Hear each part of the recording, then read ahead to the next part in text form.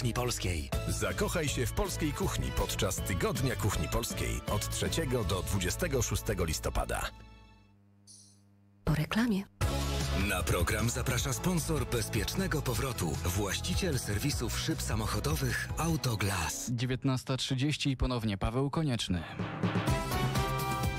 I to bezpieczny powrót z RMFFM. Ponownie ruszamy w trasę. Trzy samochody zdarzyły się na krajowej 50 trójce w Dylewie na trasie Ostrołęka-Kadzidło na Mazowszu.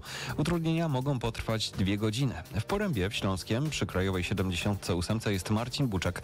Jak wygląda sytuacja na najważniejszej trasie łączącej województwo śląskie z Kielcami?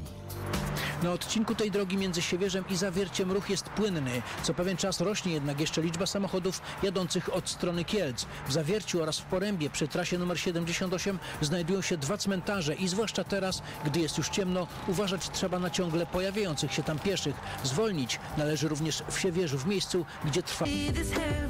A teraz Dolny Śląsk maleje ruch przy wrocławskich cmentarzach, donosi nasz reporter Paweł Pyclik. We Wrocławiu cmentarze komunalne są otwarte do godziny 21.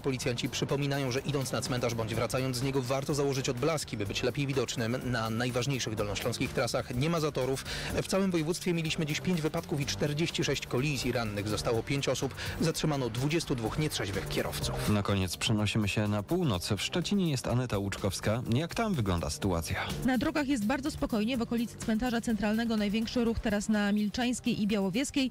E, Tymi ulicami auta wyjeżdżają z parkingów centrów handlowych. Ulica ku Słońcu i przyległe do niej ulice Piękna Santocka i Karola Miarki zostaną znów otwarte dla ruchu o godzinie 22.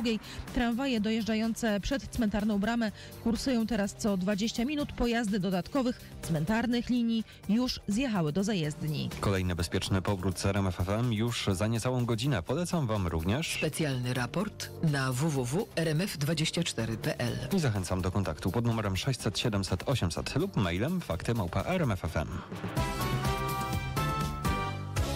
Na program zaprasza sponsor bezpiecznego powrotu, właściciel serwisów szyb samochodowych Autoglas.